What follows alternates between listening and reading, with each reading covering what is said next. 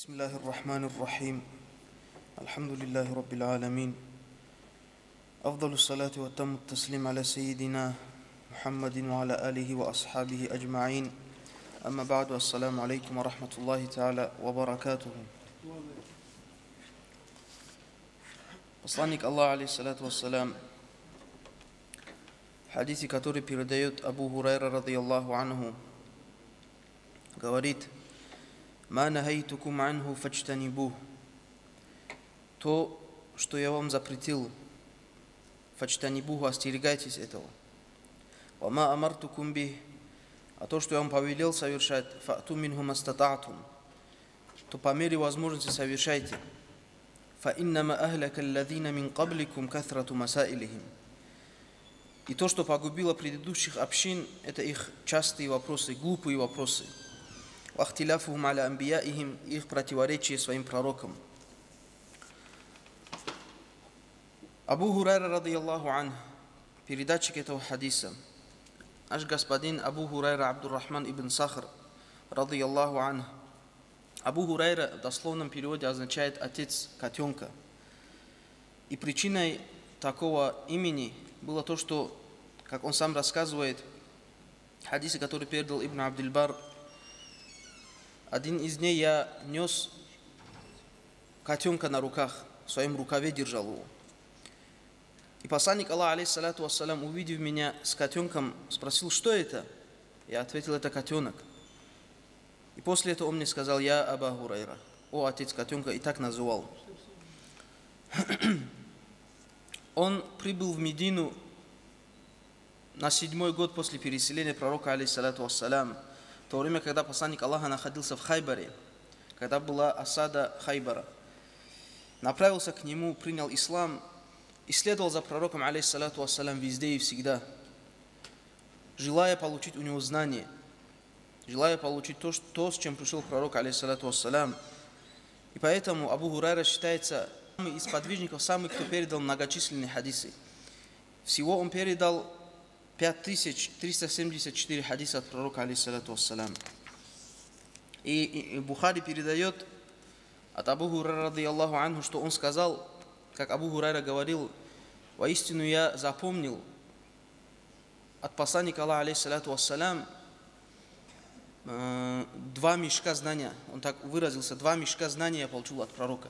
Один я распространил, а другой, если бы я начал бы рассказывать с другого, то мне бы от, отрезали глотку, говорит. «Иннама хаддахту би нисфил ахадиф лати арифуха» И поэтому я рассказал лишь половину тех хадисов, которые я знаю. Также передается от него, что, как он говорил, я очень часто сидел с посланником Аллаха, алейхиссалату вассалям. И один из дней посланник Аллаха сказал такие слова.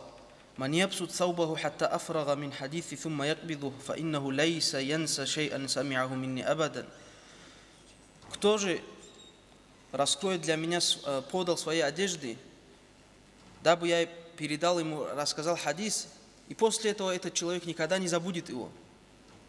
Фабасат Тустауби. И Абу Хурайра говорит, я свою подал одежды, раскрыл. И посланник Аллаха, алейхиссалату вассалям, передал хадис.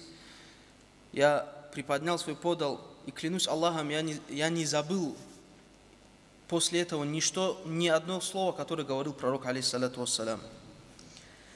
Абу Хурайра также был господином Ахлю Суфа.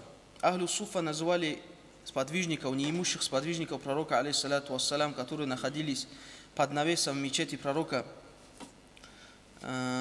Бывали люди там среди этих сподвижников, у которых кроме той одежды, которая скрывает их, их аурат, аурат чисто, больше ничего не было, больше ничем они не владели.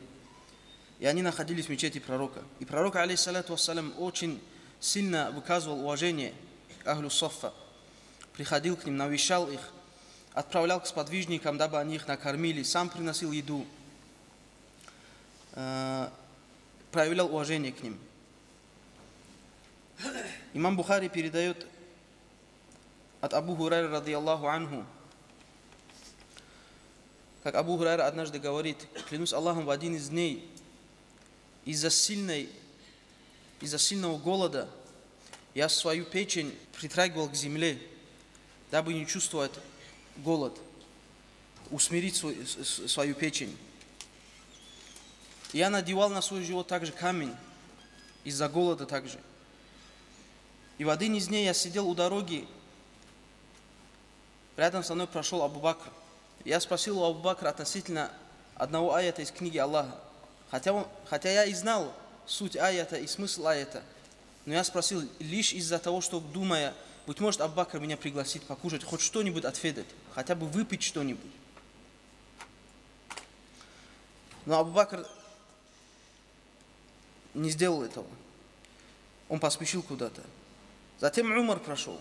Я также спросил его относительно одного аята из книги Аллаха. Э, я не спрашивал его, кроме как для того, чтобы он меня позвал домой, но все равно так не получилось. Они не догадались об этом. И тогда прошел рядом посланник Аллаха, алейхиссалату вассалям. И он посмотрел на меня, понял, почему я там сижу, почему я так расспрашивал. И он, обратившись ко мне, сказал, «Я Абахир, о Абу Хурайра». Я ему ответил, «Я перед тобой, посланник Аллаха. Пойдем со мной». Я последовал за ним. Я последовал за ним, посланник Аллаха направился к себе домой. Зашел к себе, я попросил разрешения войти, вошел. Я нашел, мы обнаружили, посланник Аллаха, алейхиссалату себя дома, обнаружил стакан, бокал молока. И он спрашивает, у, э, дома у жены, откуда вам это молоко, откуда вам пришло оно? Они сказали, такой-то, такой-то из семейства такого-то прислал э, к, семье пророка, алейхиссалату вассалям. Когда это узнал посланник Аллаха, он сказал, о Абу Хурайра, направь, иди в мечеть, позови Ахлю Суфа, тех неимущих сподвижников, позови их в мечеть. И Абу Хурайра говорит, меня это, конечно же, расстроило. Я надеялся, что я выпью из этого бокала насыщусь, приду хоть, какой, хоть как-то себя чувство приведу. Но потом сразу опомнился и сказал себе, я посол, как бы, посланник Аллаха, алейхиссалату вассалям, я должен буду э, проявлять гостеприимство гостям пророка, алейхиссалату вассалям, то есть им буду подавать э, это молоко, э, потому что повеление Аллаха и его посланника обязательно.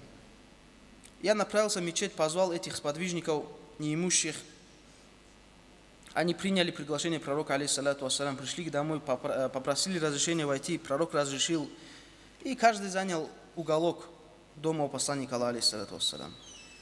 Тогда посланник Аллаха обратился, Абу Хурайра говорит, он обратился ко мне и сказал, «Я Абахир, худ фаатихим, возьми же этот стакан и дай каждому испить из него». Я взял у пророка этот стакан и начал каждому подходить и давать пить. Каждый из этих сподвижников из этих бедных сподвижников, каждый брал, выпивал, пока не насытится, и отдавал обратно. И таким образом, пока всех не прошел. И в конце концов я принес его и дал посланнику Аллаха, алейхиссалату вассалам. Он взял бокал у меня, этот стакан, там чуть-чуть оставалось. Затем поднял, он посмотрел внутрь, поднял голову и улыбнулся. И сказал, я Абахир, фак'уд фашраб, садись и выпей. Я сел и выпил. Затем он снова сказал, выпей. Я еще раз выпил. Снова сказал, выпей. И он не перестал мне говорить, выпей, выпей. До тех пор, пока я не сказал, клянусь тем, кто не спасал тебя с истиной, ма'аджиду я не нахожу места для этого, уже все, у меня заполнилось все, я не могу дальше пить. Тогда посланник Аллаха сказал, отдай ко мне, и сам чуточку выпил, из маленького стакана. Это один из муджизатов пророка, алейхиссалату вассалям. Также передается от Абу Гурари то, что он сказал, три беды меня настигли в моей жизни. Первое это мауту наби, саллаллаху алейhi. Это, конечно же, смерть пророка. Для меня это было шоком. Вторая беда, катлю Уthман, это убийство Уthмана в своем доме в Медине, халифа мусульман. В городе, когда все сподвижники еще в Медине находятся, произошло такое кощунственное убийство. Для меня это было очень сильно, на меня это произвело впечатление – вальмизват и ситуация с дорожной сумкой, с мешочком, так сказать. И те, кто рядом сидели, сказали, что за мешочек? Тогда он сказал, однажды я вместе с пророком, алейхиссалату вассалям, был в сафаре, находился в пути. И он меня спросил, есть ли с собой у тебя что-либо из еды. Я сказал, да, есть у меня пару фиников или финик в, этом, в этой дорожной сумочке. Принеси его, сказал. Я вытащил оттуда финик, и в другой, другой передаче хадиса говорится, что 20 фиников оттуда вытащил.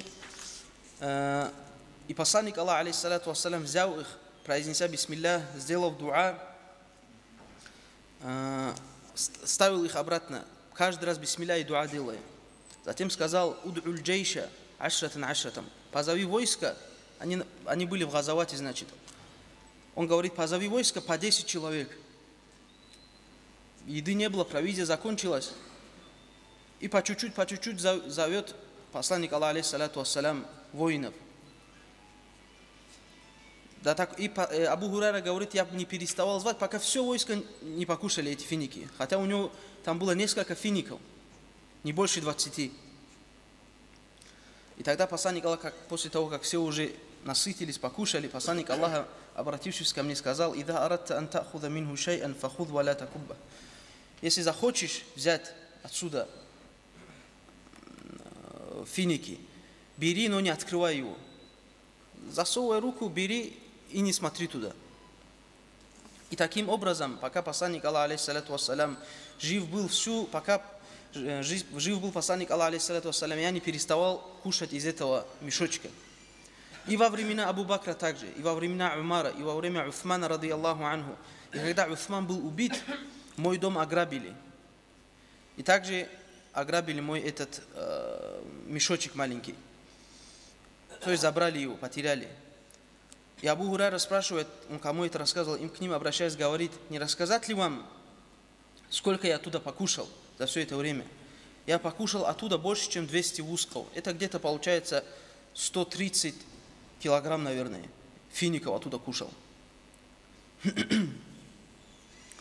Из достоинств Абу Хурайра, ради Аллаху анху, является то, что он в день истихфар и таубу делал 12 тысяч раз. Сподвижник пророка, алейхиссалату вассалям, 12 тысяч раз в день просил у Аллаха прощения и каялся. И также передается, Абу Нуайм передает то, что у него был, были четкие, не, не такие, как у нас из бусинок, а из узелков сделанные. Две тысячи узелков было на нем, и он спать не ложился, пока полностью tasbih не прочитает с ними. И также передается то, что он, Абу, Аб, имам Бухари передает это, у него был э, его жена и его раб, они делили ночь на три части. Первый, например, намаз делает первую треть ночи, другие спят. И когда сам спать ложится, будил второго. Второй также вторую часть вторую треть ночи молится, когда спать ложится, третьего будил. И таким образом вели свою жизнь.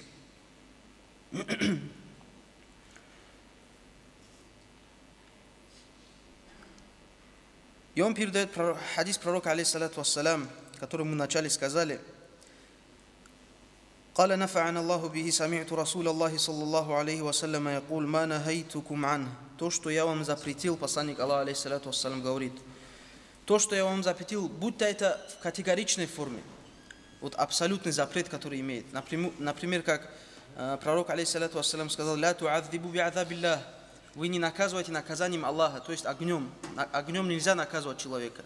Есть установлены шариатом другие методы наказания, огнем нельзя наказывать. Это категоричный запрет. Никому не разрешается. Будь-то такой запрет, или же запрет порицательной форме. Например, не кушайте левой рукой, не кушайте э, лук, от которого может вонять и приходить в мечеть. Это, это не категоричной форме. Это порицается. Нехорошо так делать, но категоричной формы нету запрета. Фачтанибу. Но какой бы в общем, в любом случае, фачтанибу нужно остерегаться. Категоричная форма запрета или же порицательной формы. Разницы нету. Потому что тот человек, который э, совершает харам, он будет асиян, он будет считаться ослушавшимся человеком. А тот человек, который делает порицаемое, нежелательное действие, противоречит сунне, такого человека будут назвать мухалиф. То есть он противоречит сунне пророка, алейхиссалату вассалям. В любом из этих случаев он является противоречащим посланнику, алейхиссалату вассалям. «Вама амартукум би». А то, что я вам повелел совершать, те действия, которые я вам повелел, категоричной, обязательной форме.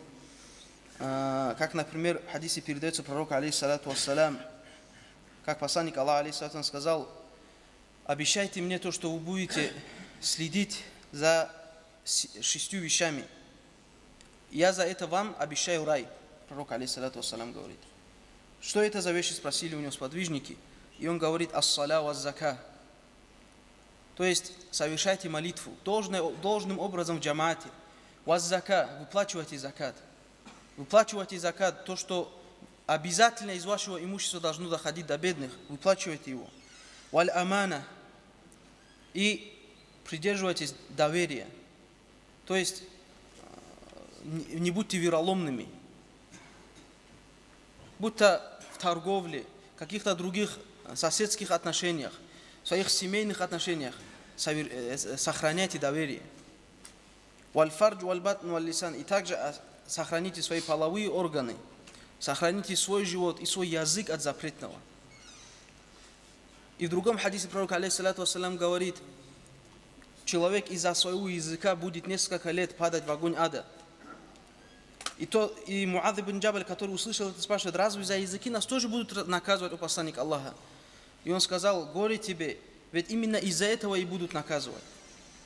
Поэтому посланник алейхиссалату вассалам, упомянул эти шесть, вещ, шесть вещей и сказал, тот, кто будет за ними следить, такому человеку я обещаю рай. Это категорично обязательной форме то, что повелел пророк. Или же в желательной форме то, что повелел пророк, алейхиссалату вассалам. Как, например, в хадисе говорит пророк, «Акфиру зикрал маут». Вы часто вспоминайте смерть.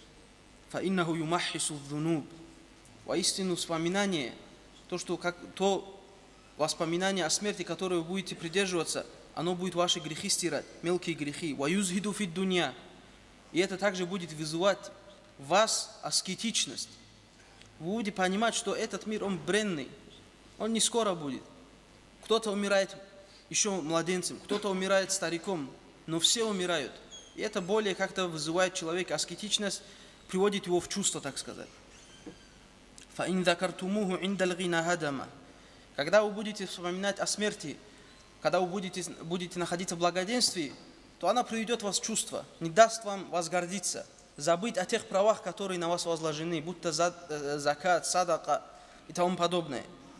وَإِنْ ذَكَرْتُمُوهُ عِنْدَ الْفَقْرِ أَرْضَاكُمْ بِعَيْشِكُمْ И будучи в бедном положении, если вы находитесь в бедном положении, вы будете вспоминать смерть, это будет вам также снова утешением, потому что вы будете осознавать то, что этот мир закончится и впереди вечная жизнь.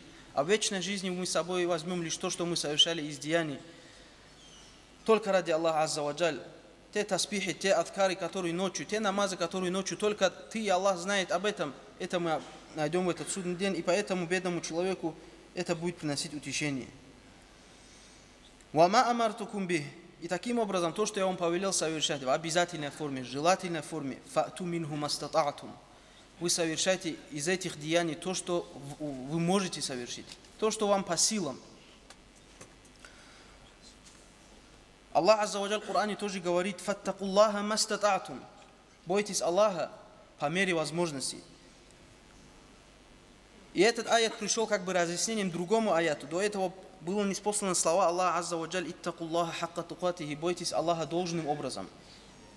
Должным образом только амбия валь мурсалун, защищенные от грехов посланники Аллаха могут совершить, э, могут э, быть богобоязненным должным образом. И после этого, и когда сподвижники недоумевали, как же нам быть, по-любому человек совершает какие-то проступки, каким бы большим он не был бы, каким бы большим валием он не был бы, он может совершить проступок, который подобает его степени. И были неспосланы после этого слова Аллаха, «Фаттакуллаха мастататум», «Бойтесь Аллаха по мере возможностей». И ученые, ученые шариата, ученые фукаха из этого хадиса извлекли правило, которое гласит «Инналь майсура ла яскуту бил масур» облегченное, возможное действие, которое может совершить человек, оно не отпадает из-за из какого-то затруднения. Например, если человек – во время омовения не может помыть часть органов, он, может, он моет то что, то, что может помыть, а на другой части делает таяму. Если таямум тоже не может делать, хотя просто проводит по ней рукой и таким образом совершает. Но это не означает, из-за того, что, например, он не может делать омовение, что он вообще не будет делать. Нет. По мере возможности он сделает омовение, и это место тоже проведет хотя бы э, по ней рукой. Или же, к примеру, возьмем молитву. Если человек не может стоять в намазе, какая-то, какая бы то ни была там у него трудность, он не может стоять в молитве. Тогда он делает намаз сидя. Ему дает шариат разрешение делать намаз сидя. Если сидеть не может, то ложится на бок. Если на бок не может ложиться, он может на спину лечь и таким образом намаз делать. Если не может делать руку и суджуд, делает руку и суджуд. Если не может делать, то хотя бы будет ишара делать, указ, указание головой делать. Если таким образом не может, то хотя бы сердцем он будет э, воспроизводить э, молитвенные эти ритуалы. Таким образом, по мере возможности должен человек совершать. И далее пророк, алейхиссалату вассалам, говорит, «Фаиннама ахлака аллазина мин кабликум, ай мин аль-умами сабика».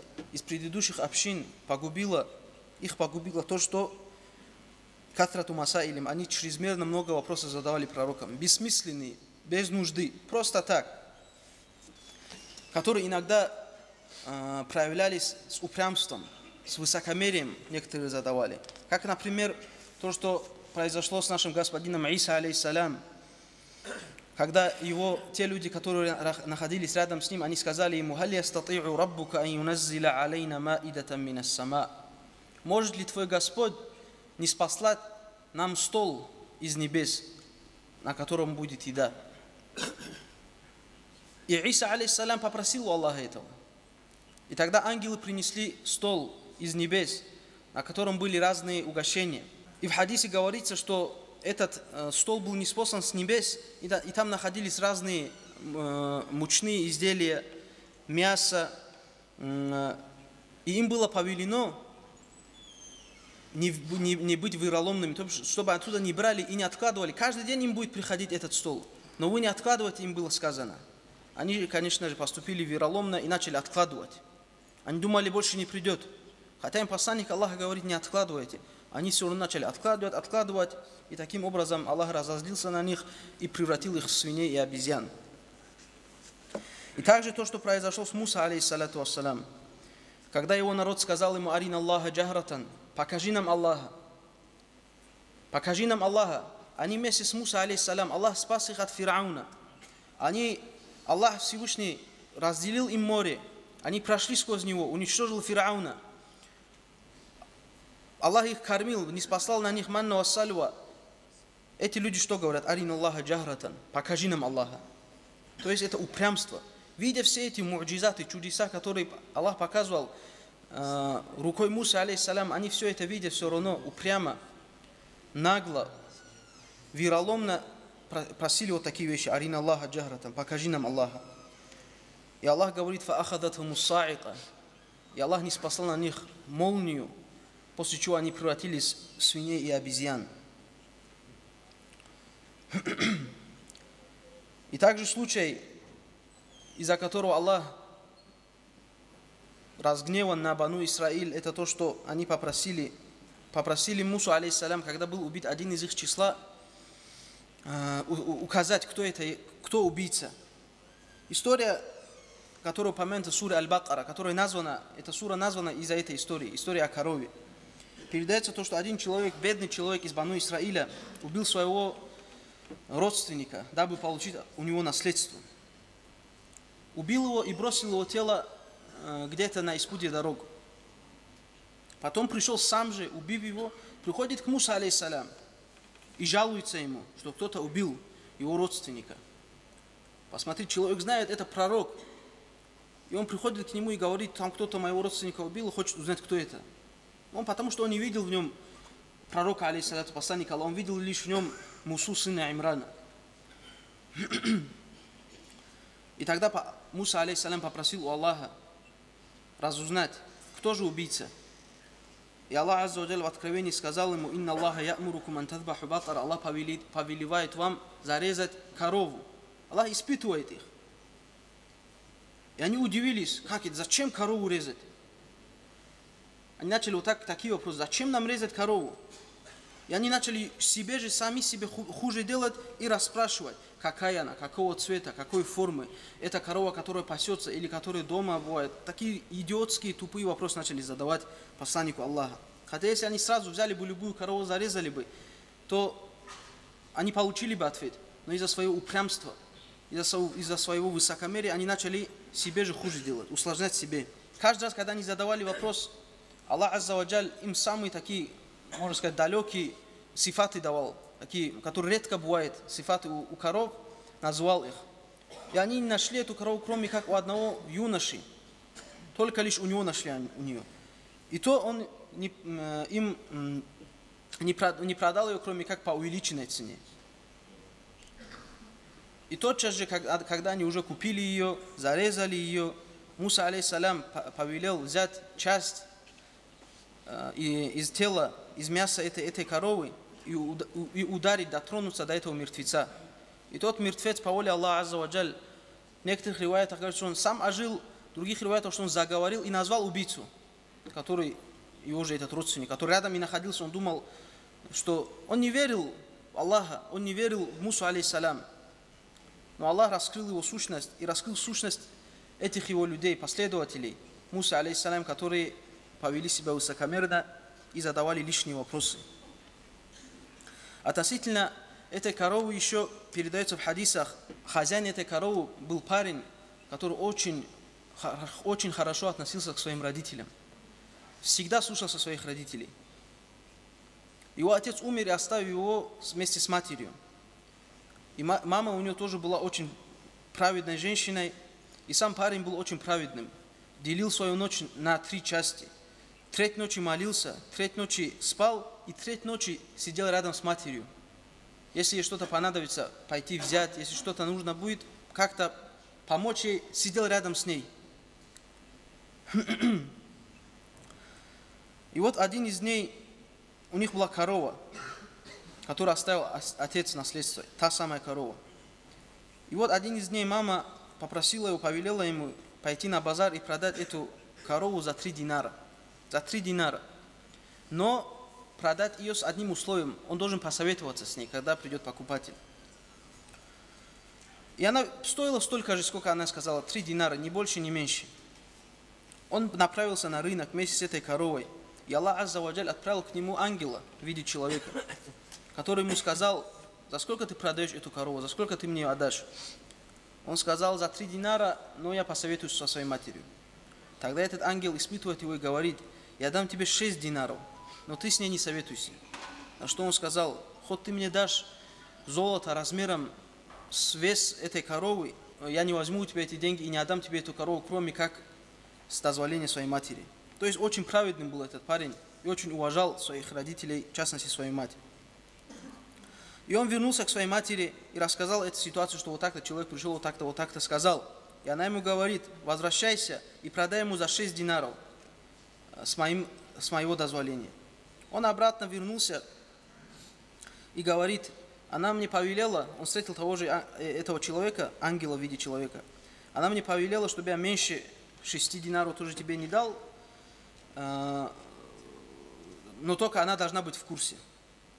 И он мне говорит, я дам тебе 12, только ты ей ничего не говори. И он снова, конечно же, отказался. И вернулся обратно к матери и говорит, этот человек вот так, вот так меня испытывает. И мать догадалась, будучи праведной женщиной, она говорит, быть может, это ангел в виде человека испытывает тебя. Иди обратно и спроси, что же делать мне с коровой, продавать мне ее или нет. Когда он вернулся и сказал то, что, ей повелел, то, что ему повелела мать, ангел сказал, возвращайся к своей матери и скажи, придержите эту корову, вы ее продадите э, за такую цену, за, за то золото, которое поместится в ее шкуре. И далее произошли те ситуации, которые мы рассказали с Бану Исраилем и с коровой. Бухари, ради Аллаху ан. Из этого мы извлекаем то, что не нужно лишние вопросы задавать, которые еще не произошли, которые не будут. Как, например, однажды один из наших дагестанских альму рассказывал, ему задают вопрос, как делать намаз на луне. Ну зачем человеку такой вопрос задавать? Как делать намаз на Луне? Когда будем на Луне, если окажемся на Луне, Вот тогда и нужно это поднимать вопрос. Но человек сидит здесь, он сидит просто и думает, чтобы задать, придумывает. Это значит, у человека что-то не так с головой. Такие вопросы, такие вещи, такими вещами нельзя заниматься. Бухари передает, Анна Муавия, ради Аллаху анху, сподвижник, посланник Аллаха Муавия, написал письмо к Мугирату ибн Шуби, другому сподвижнику. Напиши мне, отправь мне хадис, который ты слышал от посланника Аллаха, алейхиссалату вассалям. Мугират ибн Шуба отправляет к нему письмо с хадисом пророка, алейхиссалату вассалям, в котором говорится, что посланник Аллаха, я слышал, как пророк, саллаллаху алейхи вассалям, говорил, «Инни акраху лакум таласан». Воистину я остерегаюсь с вашей стороны трех вещей. Я не хочу, чтобы вы совершали эти три вещи. В частности, сподвижники, так как они были живы, и он это говорил.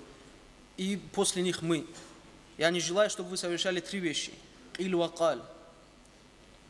Разные хабары. Сплетни. Ненужные разговоры. Маль. И без нужды растрата денег. На всякие причуды. Ему в голову пришло, он что-то захотел. Есть у тебя деньги, и ты берешь это. Нет. Это приведет, в конце концов приводит к краху человека, безбаракатности. Вакатрату суаль и многочисленные вопросы, бессмысленные вопросы, ненужные вопросы. Я остерегаюсь, что вы будете совершать эти действия, пророк, алейхиссалату вассалам, говорит. И также передается, что Убай ибн Кааб, Заид ибн Сабит и другие из выдающихся сподвижников, когда их спрашивали о каком-то вопросе, они говорили, это, это такой случай происходил, они спрашивали у этого э, человека, который у них спрашивает. Так произошло, что ли? Они говорили, нет, просто им в голову пришло, если, если вдруг так случится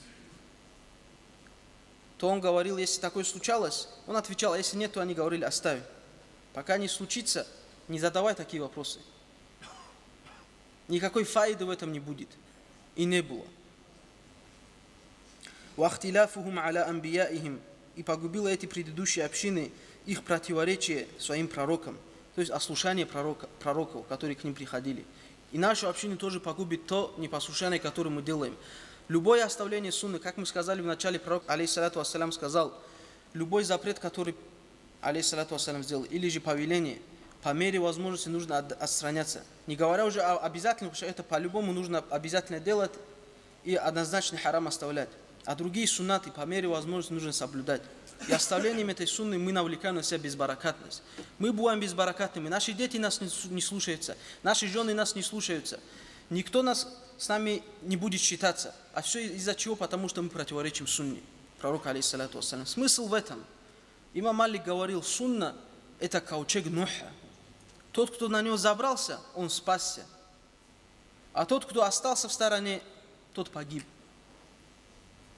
Пусть Аллах wa даст нам тауфик следовать сунне пророка, алейхиссалату вассалям, и не оставлять ни одной, ни одной, какой бы мизерной оно ни было, часть сунны пророка, алейхиссалату вассалям, каким бы маленьким оно ни было.